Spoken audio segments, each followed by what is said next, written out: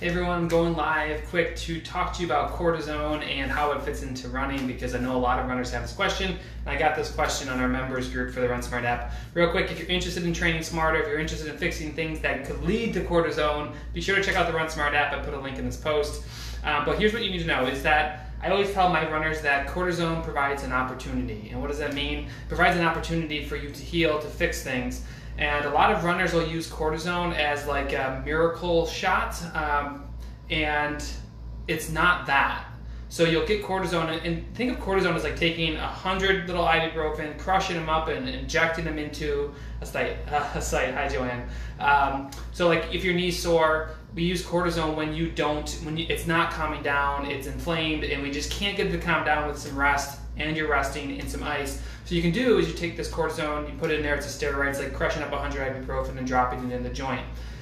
The issue with that is it doesn't address the why, right? So why is your knee inflamed? Why is your knee sore? Is your ankle stiff or is your is your glute sore? That's typically what we see with the knee. So a lot of people will get that injection, they'll feel better, and then what happens is they go out and they do too much and they just re-inflame it or they don't really fix the problem and it comes back later down the road. So here's my recommendation for you is one, make sure that if you're gonna get the cortisone, you can only get three a year because cortisone is eats up good and bad, right? So it's not just like something that's going to go in and say, "Where's the inflammation? I'm going to go get it." It's going to say, "What's in here? I'm going to get it all," and it's going to eat up everything in there. So you can only get three a year because it does break things down. So you want to use them when you absolutely need to, um, and don't be the typical type A runner who just wants the quick fix because it's only going to get rid of the inflammation.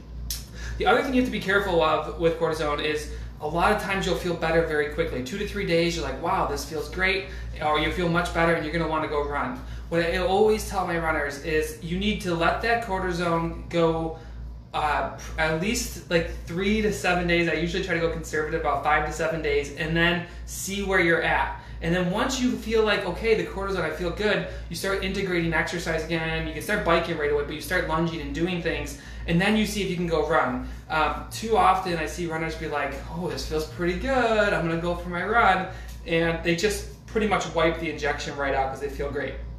So be really, really careful to kind of see where you're at. Give it that five to seven day window. And the last thing I want to say about cortisone is you have to be very careful around tendons and things that attach. They're really effective at decreasing inflammation. But remember what I said, like when you inject them into a knee joint, they'll go in and they're gonna eat up a lot of different things, good and bad. So we don't want a lot of them.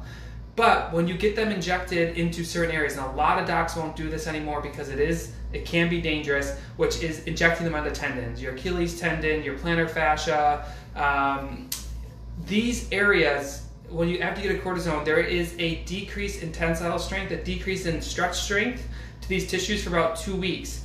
So you actually have an increased risk for rupture um, when you inject these things right on tendons. I've seen it on the anterior tib, which is the front of the shin.